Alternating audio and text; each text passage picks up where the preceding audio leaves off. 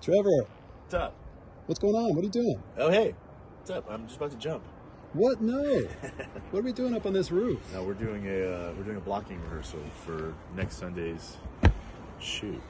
Really? Yeah. Tell me about it. Um, how So- about you tell me about it? All right, we're- so we're, we're, we got this shoot that we're going to do. It's going to be a little bit of an add-on to what we've shot already for season two of The Disappointments.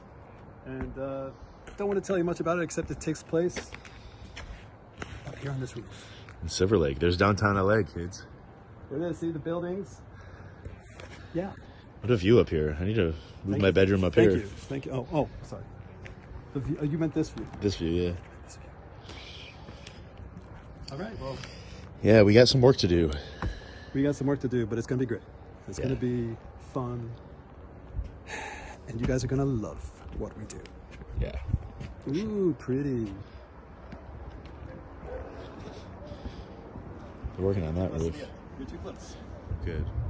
Cool. You're on the edge of glory. Lady Gaga, thank you. All right. That's it. That's it. That's it. That's it. That's it.